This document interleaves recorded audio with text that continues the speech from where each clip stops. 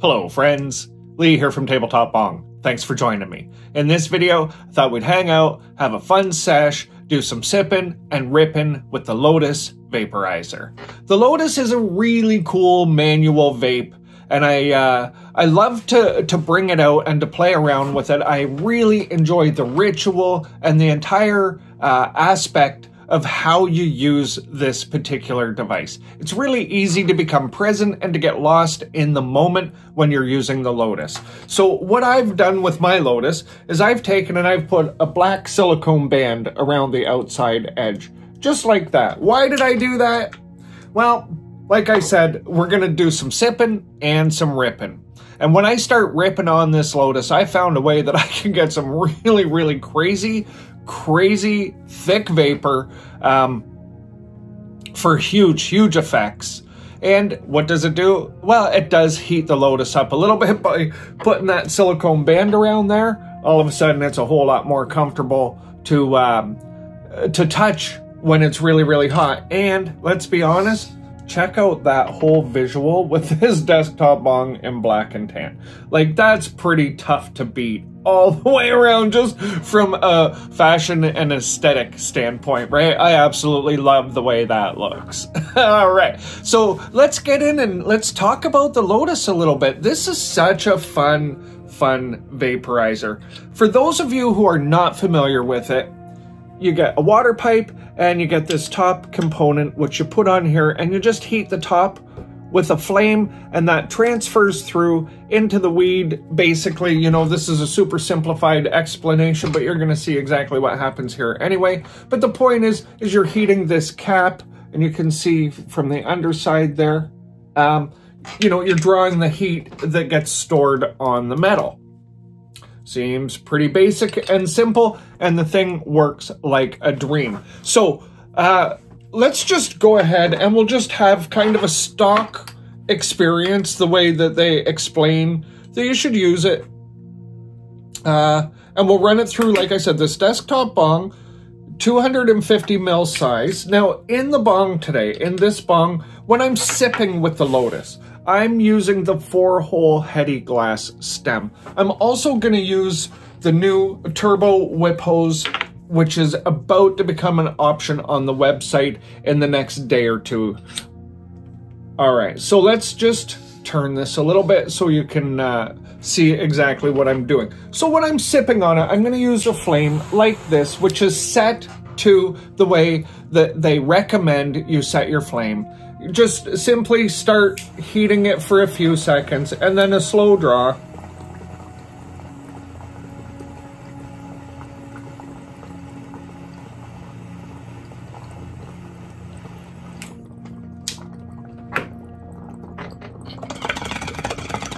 And you can just sip away with some really, really flavorful, terpy little sips and you can, you know, just sip and sip and sip.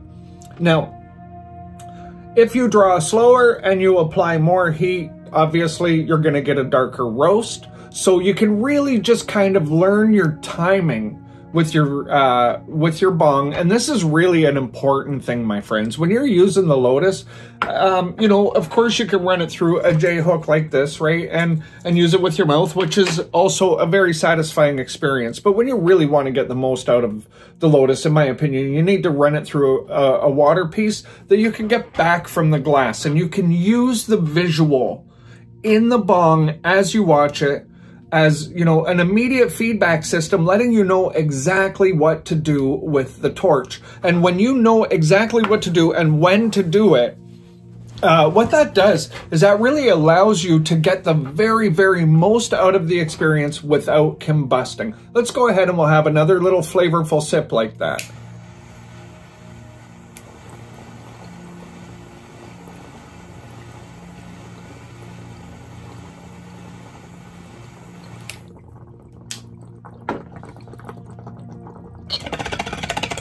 Just using a medium draw speed.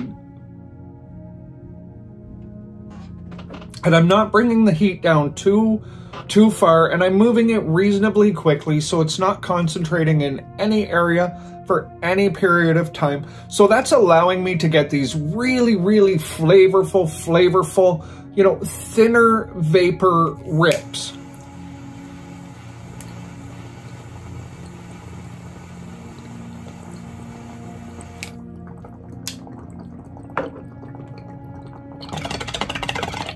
And you can see as the vapor begins to show itself in the glass,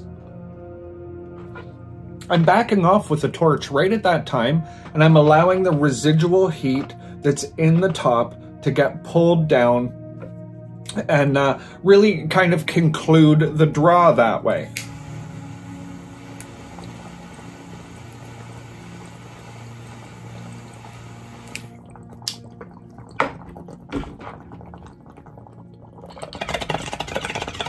And now we'll just go ahead and give it a little stir. But I'll let you see, as we're doing it this this way, right, we're really going to be able to sip away at this, you know, as for a number of really, really flavorful, flavorful draws. So what's great with this is it becomes, you know, you can really look at this because it's so easy to get to the vapor right away. You can look at this as a complete on-demand system. So if you're sitting and you're watching a movie and you want to just take a puff or two and then leave it, you can just, you know, put the hose down, put the torch down, continue to watch the movie and pick it back up in a minute. And, and you know, you're right back in where you left off without any wait time, right? Just a three second preheat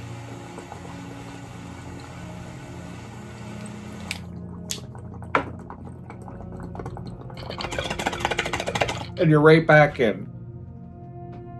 Getting these tasty, tasty rips over and over and over again.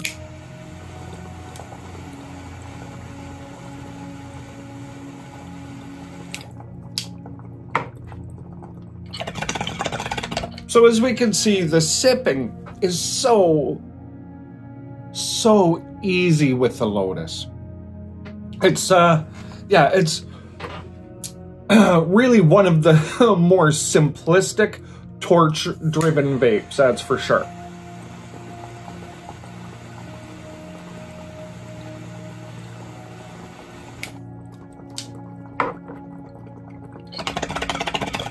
The instructions of how to use it are really quite accurate. If you just follow the instructions from the manufacturer, you'll get sips like that all day long and be a really, really flavorful and satisfying experience. But,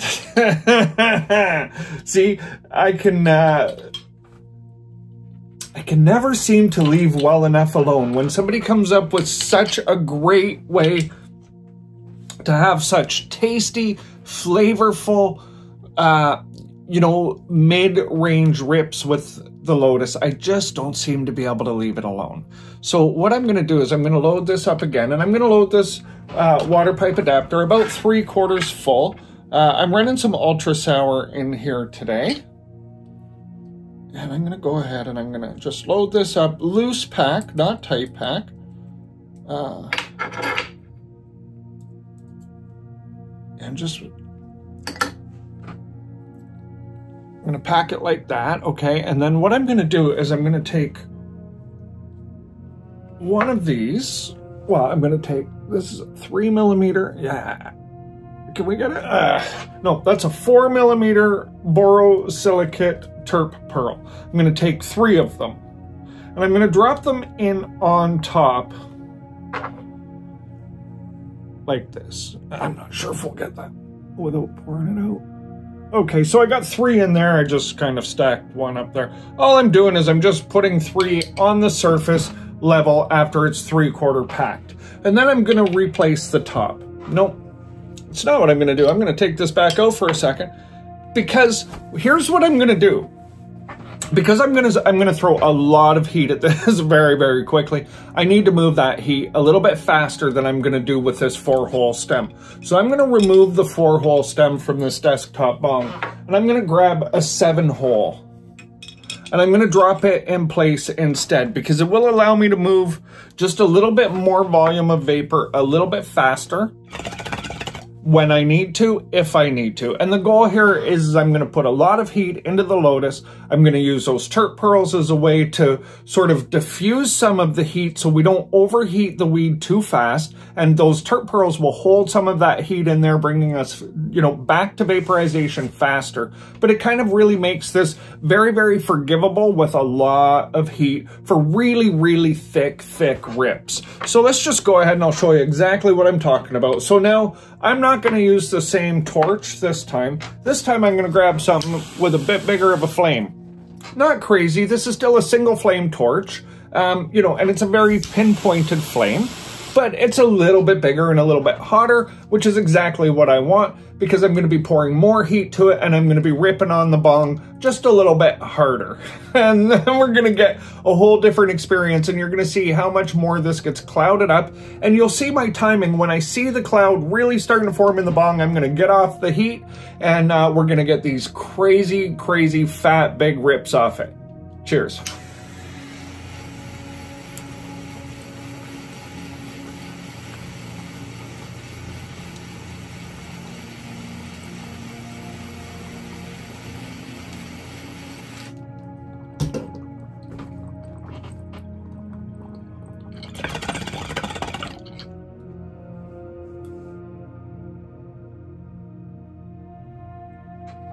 Yeah, we can start to push on the Lotus just a little bit harder, right?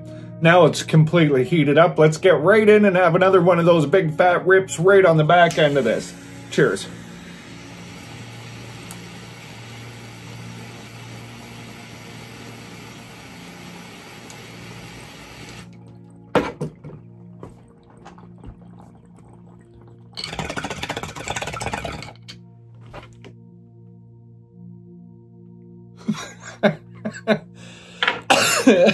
Get some big, big rips. you can see what's happening in there, right? You can see how those terp pearls are diffusing that heat.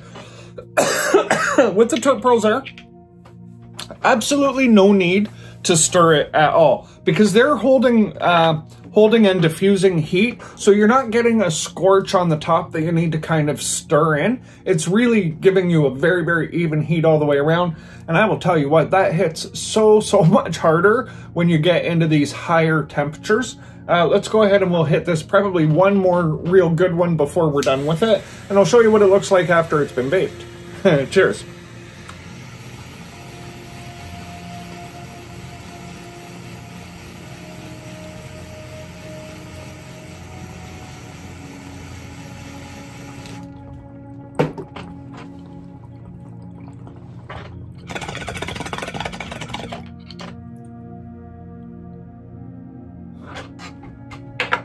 You can see there what I was doing is I was bringing the flame a little bit closer before vapor production to throw more heat into it. And then when the vapor production began, I was lifting the heat away. We're gonna do it again in just a second and I'm gonna show you.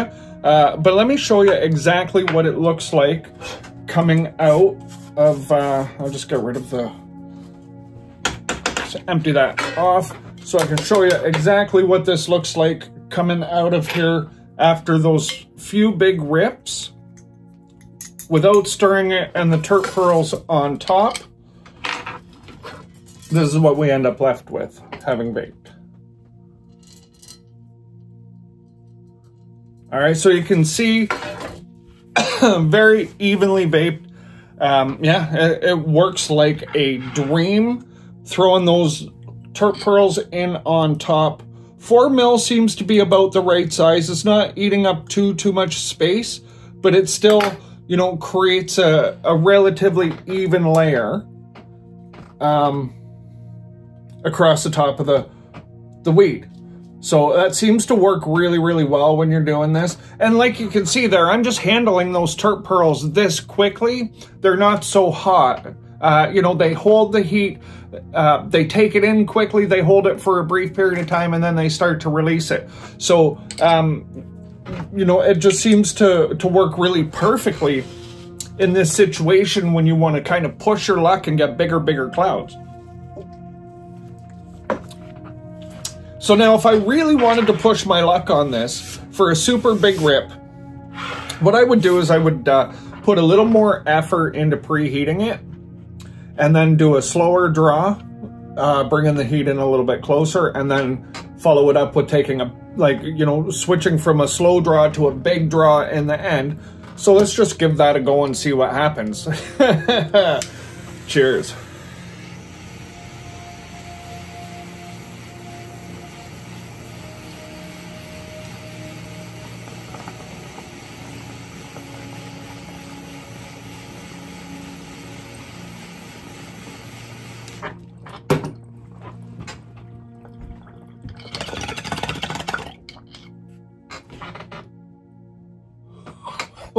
wow.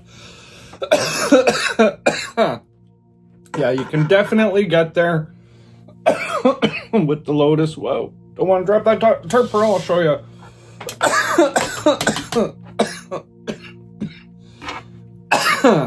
yeah, you can get those nice big one and done rips. If you heat it just right. So it's right here that we just made.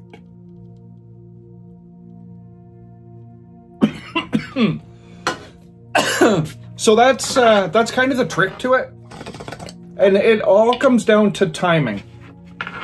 If you want to thicken up the vapor a little bit, slow your draw down. If you want to, uh, if if it looks like you're getting too close, like too thick a vapor, you either have to take it right away and stop, or you can try if you're not really close to combusting yet, you can try just speeding your draw up and cooling everything down a little bit. Sometimes that can push you over the edge of combusting if you're too close though. So that's one of those ones that with a little bit of experience, you'll get used to. Uh, and you'll know the difference very, very quickly. But I'm loving the Lotus. I've been using it, uh, you know, quite often actually uh, for different times when I want to just kind of check out. And it's not necessarily about getting as blasted as possible, but it's about actually using the experience to just kind of slow down, uh, you know, and to sometimes you need to to just like catch your breath, right? When you're running and everything feels chaotic and you're in that space, right? Because you're really busy and stuff. Sometimes you need to go, ooh, I'm gonna just slow down, sit down for 10 minutes, catch my breath, right? This is when the Lotus for me, the Lotus and the Vapman are two that are really great for for that thing to pull you out of that spin and into the ritual and the experience of using it. Right, and it's a very nice tactile experience with the wood, and yeah, so uh, you know that's really where I'm finding the Lotus is coming into play uh, for me quite often. Uh, and and the busier I get, it seems like the more often I need that slowdown and I'm reaching for it. So, uh, yeah. All right, my friends, I hope you enjoyed this and got something out of it. If you have a Lotus, give some of those things a try and, and see how it works for you. I think you'll enjoy the fact uh, that you can use it in so many different ways. Thanks very much for joining me. I hope you enjoyed this and got something out of it. If you did, please hit the like and subscribe button. Until next time, take care.